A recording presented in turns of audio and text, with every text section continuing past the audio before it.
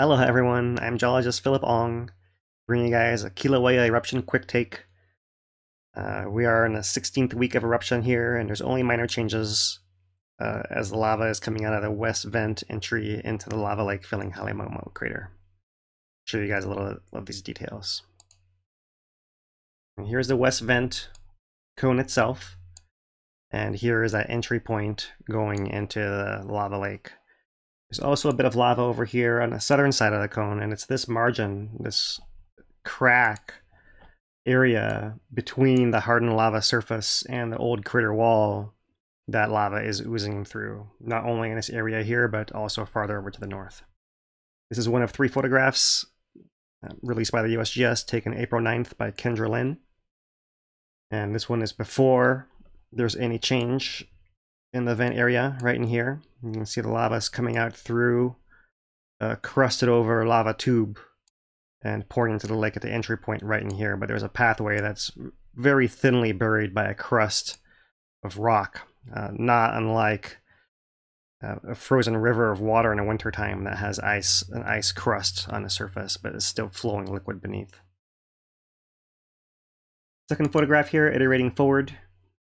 You can see that the original entry point, we're zoomed in a little bit, is over here, but that part of this pathway has broken through its thin crust and is now a, a deeper, slightly wider channel flowing into the lava lake at this point in time.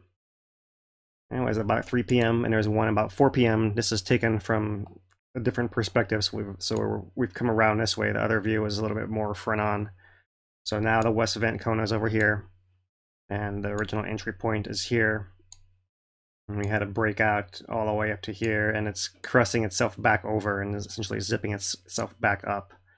And that's how we can see the pressure changes manifesting at the west vent itself.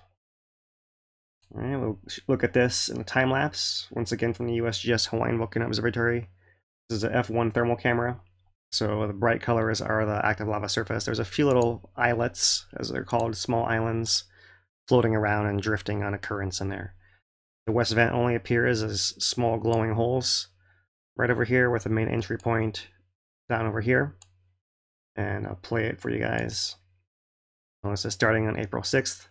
You can see that initial burst corresponds to this ooze up on the southwest margin of the lava lake.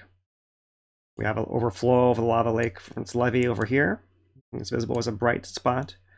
But we're also going to have another series of cracks coming in over here in this northern section with lava oozing up as well. And watch how that and the vent change at the same time. We have more changes at the vent than we're seeing the ooze ups, but, but certainly when you have a bigger burst coming through, like there it is, uh, you see it in sync both at the vent and over here to the side.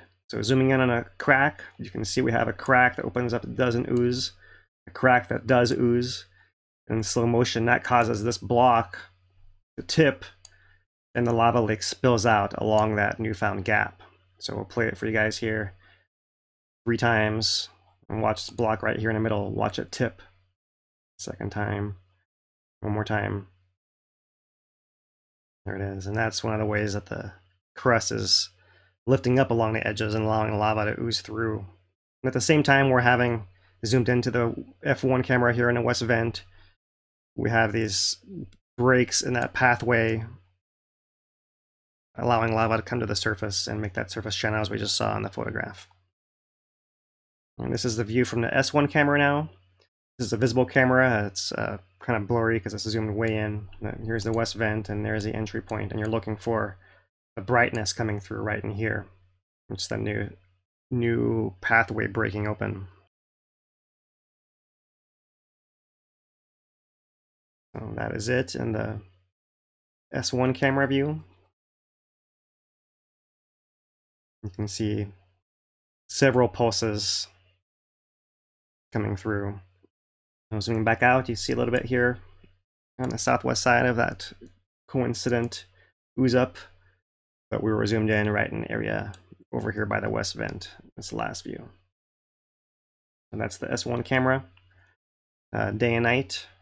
There's that April 8th, which is the lar largest breakout there. You can see a little bit in the daytime right in here.